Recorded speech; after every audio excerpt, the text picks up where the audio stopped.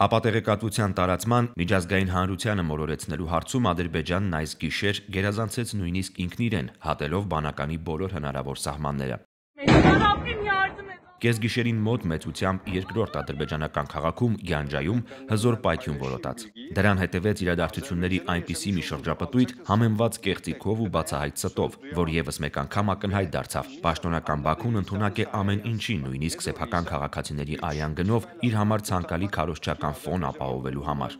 Նախ Գյանջայում որոտաց պայթյունը։ Ակնթարթներ անց տեղում էր ադրբեջանական հեռուստատեսությունը, որն ուղիղ եթերով լուսաբանում էր փրկարարական աշխատանքները։ Եվ սա այն դեպքում, երբ հրթիռային հարվածների պարագայում բացառված չէ, որ կլինի նաև հաջորդը։ Այսինքն, եթե դա հարված էր, ապա տեղի իշխանությունները պետք է գոնե փորձեին զգուշանալ հնարավոր երկրորդից, երրորդից եւ այլն, առժամանակ հերո տանելով քաղաքացիական բնակչությանը։ Բայց չգիտես ինչու կար վստահություն, որ հարվածներ այլևս չեն լինի։ Նույնքան արագ Ադրբեջանի նախագահի օգնականը պնդեց, թե հարվածը հասցվել է Հայաստանի կողմից եւ այն իրականացվել է սկադ տիպի հրթիռով։ Բացարձակ ոչ մի ապացույց, եւ սա պայթյունից ընդամենը րոպեներ անց, մինչդեռ արձակված հերթիռի տեսակը ողջելու համար բավական երկար ուսումնասիրություն է պետք։ Բայց քիչ անց տեղի ունեցավ ամենատարօրինակը։ Ադրբեջանական քարոզչամեքենան լայնորեն սկսեց տարածել մի տեսանյութ, որտեղ ենթադրաբար հայկական ուժերը գրադ կայանքից հրթիռ են իրականացնում, եւ դա սկսեցին ներկայացնել որպես հայերի կողմից Գյանջան հրթիռակոծելու ապացույց։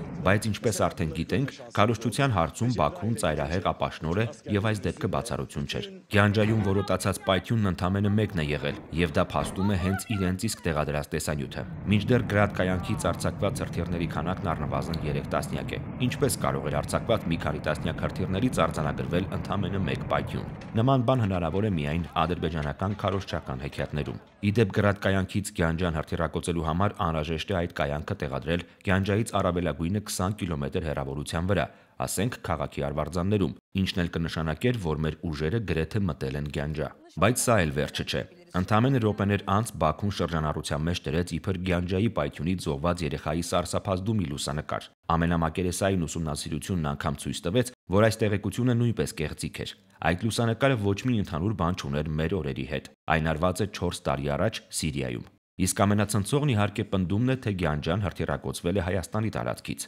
Պաշտոնական Բաքուն այս հայտարարությունն անում է ճանենալով որևէ ապացույց, ինչը բնական է, քանի որ այդպիսիք չեն էլ կարող լինել։ Հայաստանը բազմաթիվ անգամներ արդեն հայտարարել է, որ մեր երկրի տարածքից Ադրբեջանի ուղությամբ ոչ մի հրթիռ, արկ եւ նույնիսկ գնդակ չի արձակվել։